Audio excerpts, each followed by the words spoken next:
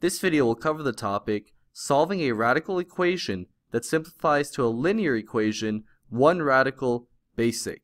For our first example, we will use the following radical equation. Square root of y minus 10 equals 9. What would the first step be in solving this equation? Do we have to get rid of the square root? I'm glad you asked. You are correct in that our first step is to remove the square root. We square both sides of our equation, which results in y minus 10 equals 81. From there, we will isolate our y variable by adding 10 to both sides, which results in our final answer of y equals 91.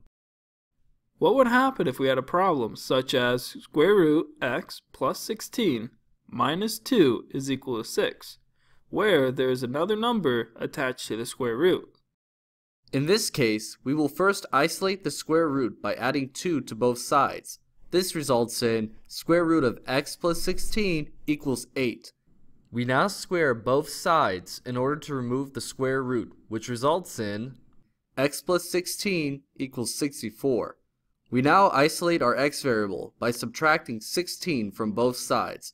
This results in our final answer of x equals 48.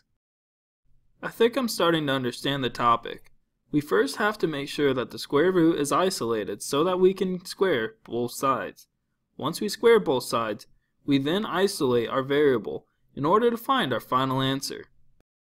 Great job! It seems like you understand how to solve a radical equation by simplifying it into a linear equation.